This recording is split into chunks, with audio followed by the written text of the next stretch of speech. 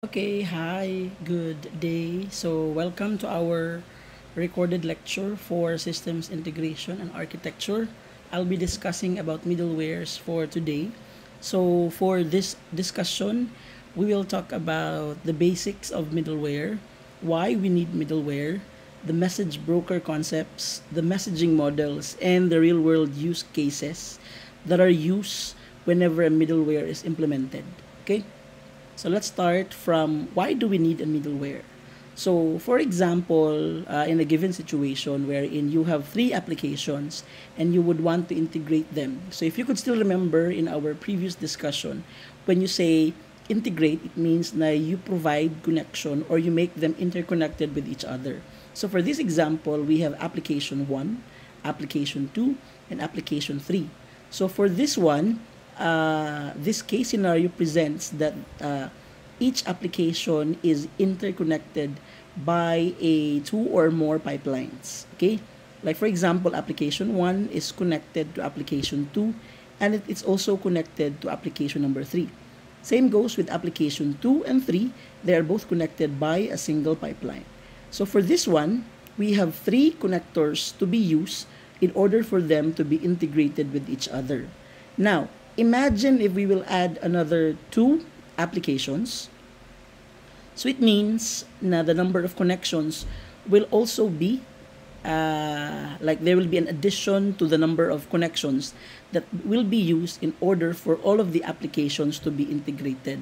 So this kind of scenario presents complexity among applications, Like for example, application 1 needs to learn how to adapt with applications 2, 3, 4 and 5 in order for it to be interconnected with uh, with with and among the applications.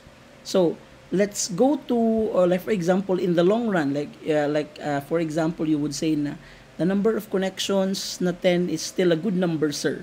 But then in the long run, what if we add more applications to the scenario? Diba? Like for example, from 5, we then connect another 5 applications to the integrated system.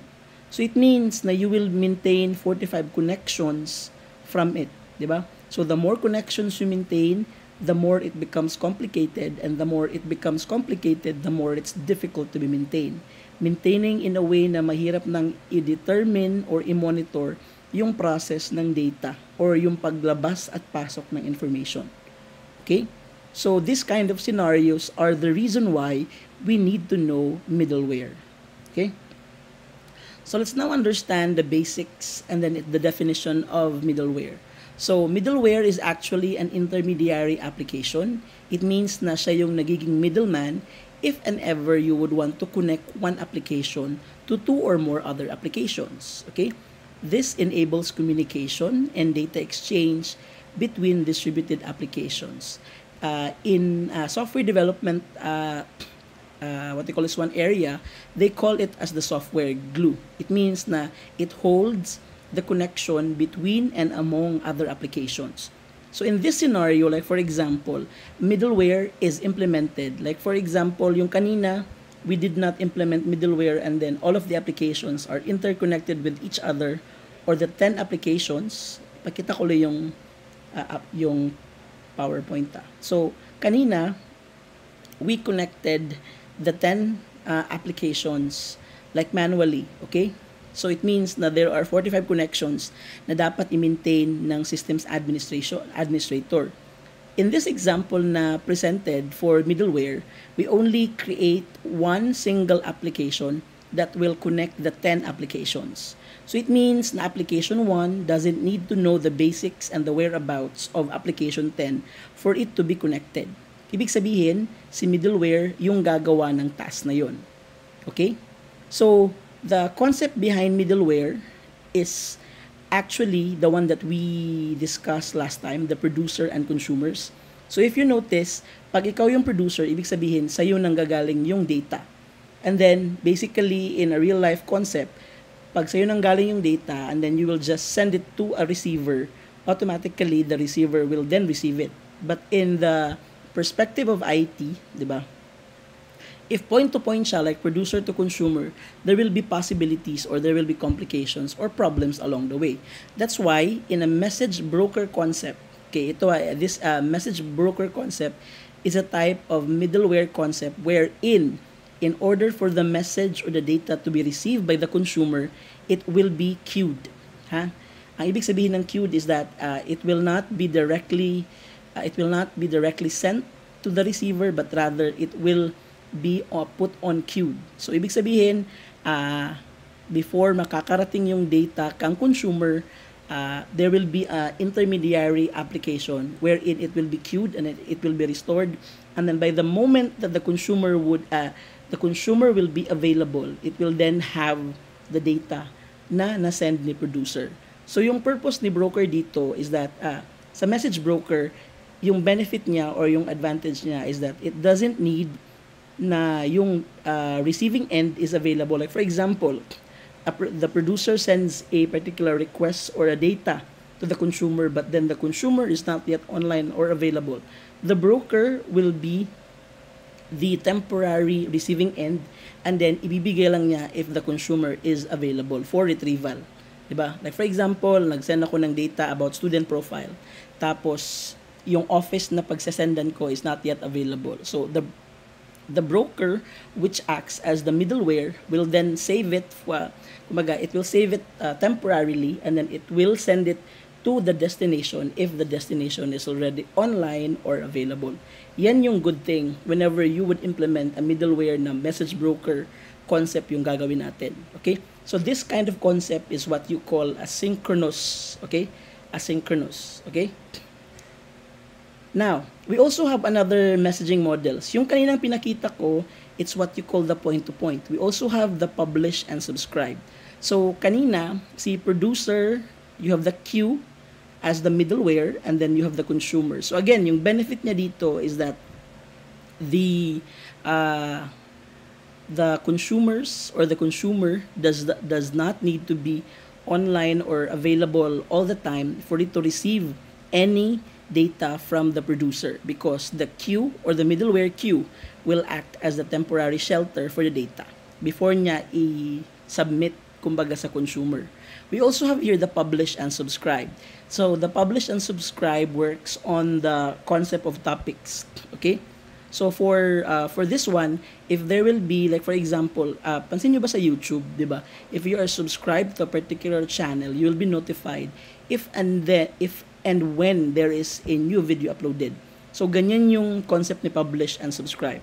Now to put this one in the middleware concept, you have three uh, entities that we need to remember. We have the publisher, which is somewhat like considered as the producer of the data.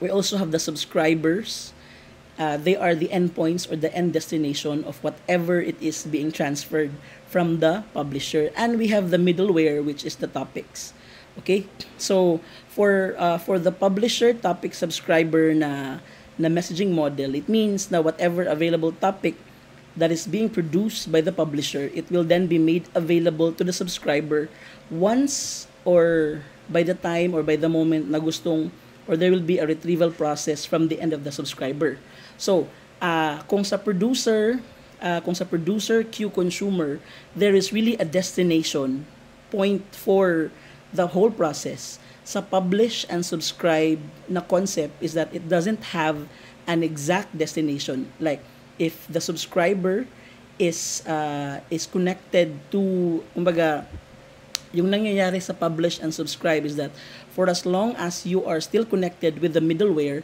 anything that the publisher uh, sense will be available on your end. Kumbaga, wala siyang particular destination point. Uh, whoever would want this kind of data or information can have it readily available. Pwede niyang kunin, pwede din hindi niya kunin. Okay? Again, yung pagkakaiba ni point-to-point -point and then ni publish and subscribe is that the point-to-point -point follows the idea na kinakailangan ma-send ito to a particular consumer endpoint. Si publish and subscribe naman, is that the publisher will just send it to the middleware platform or application which runs on topics and then it will be dependent on the subscriber kung ito ba is kukunin niya or do I need this one if not then I will not get this one okay so wala siyang particular na destination point. Another also concept na that is being implemented in publish and subscribe is that whatever that is being sent by the publisher to the topic middleware will be available to the subscriber. Okay?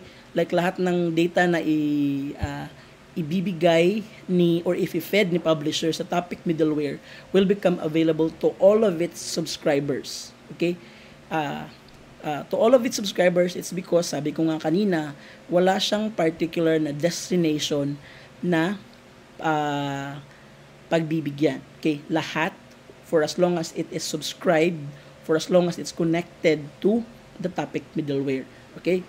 So, in most cases, uh, you implement point to point if uh, if the system that you're creating is very particular with who will receive it and then if you are only doing uh, uh, or if, you, if you're creating a middleware for everyone like everyone should receive whatever is being published by any end user you use publish and subscribe the messaging model okay ayan now let's go to real world uh, case scenarios. Like for example, Shopee, di? So an online shopping web app, uh, automatically if you will, uh, what do you call this one? If you will uh, buy something, okay, buy something, you would want that the that the third party seller who is using your app should be notified about about the order. The customer should also be notified if their uh, if their order is successfully placed, and of course the third party app wherein it will be used for storage. So, uh, in the real life concept, like for example, in Shopee and Lazada, there is a message broker or a middleware that facilitates this process. Okay? Bakit merong, merong message broker or middleware uh, with this kind of application? Because if the process will be handled by the main app or the online shopping web app, it means na yung uh, the performance of the web app will be put at risk. Ibig sabihin, hindi siya, uh, it will not work properly, okay? Or it will not work uh, with, uh, like yung performance niya will be put at risk. Like for example, hindi niya kayang i-cater lahat ng customers who will, uh, who will visit, who will place their orders if these processes like notifying the third party seller, notifying uh, the the customer and other third party applications. Kung si online shopping pa yung gagawa eto marami na siyang task na gagawin okay? So it will then affect the performance of the entire online shopping web app. So to address that one meron tayong gagawing message broker who will handle this kind of processes. Para pagdating sa online shopping web app yung ginagawa lang talaga nila is that it will just present items di ba? Sing, simple uh, simple process or the basic process of an online shopping lang. But then the other processes should be handled by middlewares. Okay? So with this kind of uh, implementation, si online shopping web app will be optimized. Ibig sabihin, yung performance niya will not be compromised. Hindi siya mag uh, walang problem na uh, mag-arise in terms of performance. Okay? So, yan yung purpose ng middlewares. Okay? So, for takeaways or for summary or in a nutshell, let us remember that middleware eliminates complexity. Diba? So, complexity such as maintaining, uh, what they call this one, maintaining its connection, diba? Anything that makes your application uh, complicated, middleware can eliminate that one. Okay? So, this one, uh, middleware, uh, use middleware, uh, message, message middleware for asynchronous data exchange. Okay, so if the problem is on the availability of the receiving point, you can use message middleware. And then let's always remember that middleware follows two basic principles. We need to keep it simple, we need to keep, keep it uh, maintainable. When you say keep it simple, it means na yung lahat ng complexities na we can address or we can find solution to should be addressed by middleware. And of course, keep it maintainable in a way na pag merong mga errors, bugs, uh, the entire application or the interconnected applications for a particular system should not be compromised o hindi siya like the operational process bitaw of a business or a particular organization should not be affected. Okay? Keep it maintainable. So if you have questions, you can write it uh, at the comment section and then you can also send me a message. So thank you again for uh, joining me today. This is your uh, second lecture for systems integration and architecture. I will post this one in your Google Classroom. Thank you so much.